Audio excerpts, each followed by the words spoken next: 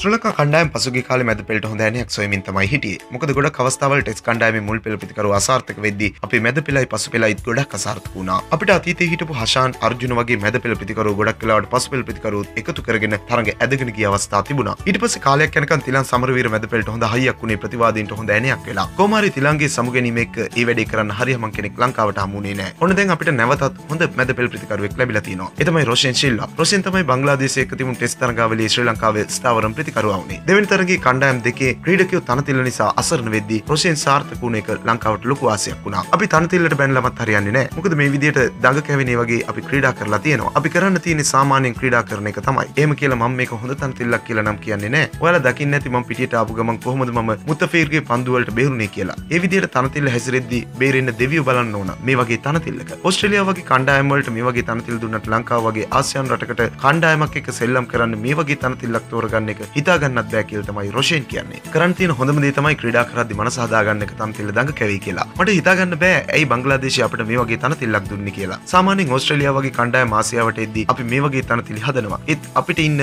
දඟපන්තු යවන්න බැලුවම මේ වගේ තනතිල්ලක් දෙන්න හේතුව මට හිතාගන්නත් බෑ. මේ වගේ තනතිල්ලක බේරෙන්න තියෙන විදිය ගැන රොෂෙන් කියලා තිබුණේ අපූර්ව කතාවක්. මේ වගේ තනතිල්ලක බේරෙන්න නම් කරන්න තියෙන්නේ පිටියට යන්න කලින් තමන් අදහන ආගමක් සිහි කරන එක. මොකද මේ තනතිල්ලේ හොඳ පන්දුවක් වැටුනොත් කරන්න දෙයක් නෑ. දැවි යන්නම් වෙනවා. බේරීමක් නෑ. නරක පන්දු වැටෙන හැම වෙලේම පුළුවන් තරම් ලකුණු ගන්න එක තමයි කරන්න තියෙන හොඳම දේ. මේ තරගාවලියේ තමන් සාර්ථක වෙන්න හේතුව පළමු පෙළ ලොකු ලකුණු ගානක් ගහපු ප්‍රතිකරුවෙක් වුණ එක නෙවෙයි කියලා කියන රොෂෙන් කියන්නේ තරගයට මානසිකව සූදානම් වුණ එක තමයි මේ විදිහට සාර්ථක වෙන්න හේතුව කියලා. මම පළමු පෙළ ලකුණු කීයක් ගහලා තියෙනවද කියන එක නම් මේ වගේ පිටියකට හොඳට සෙල්ලම් කරන්න බලපාන්නේ නැහැ. මානසික සූදානම් තමයි වාසියක් වෙන්නේ. මම මේට එන්න කලින් බංගලාදේශයේදී මොන වගේ තනතිල්ද ලැබෙන්නේ මොන වගේ පන්දු යවන්නද ඉන්නේ වගේ දේවල් ගැන දැනගෙන ඒකට මානසිකවත් සූදානම් වුණා. ඒක සාර්ථක වෙන්න ගොඩක් බලපෑවා. ක්‍රිකට් පිටියේ සිදුවන මෙවැනි සුවිශේෂී දේ බලන්න ඔබ තවමත් අපේ YouTube channel එකට subscribe කරලා නැත්නම් වීඩියෝට පහළින් තියෙන රතු පාට බටන් එක ක්ලික් කරලා අපිව subscribe කරන්නත් යාළුවෙකුට බලන්න වීඩියෝ එක share කරන්නත් අමතක කරන්න එපා. තවත් අලුත් වීඩියෝකින් හමු වෙනතුරු ක්‍රිකට් ලංකා තුලින් ඔබට සුබ දවසක්.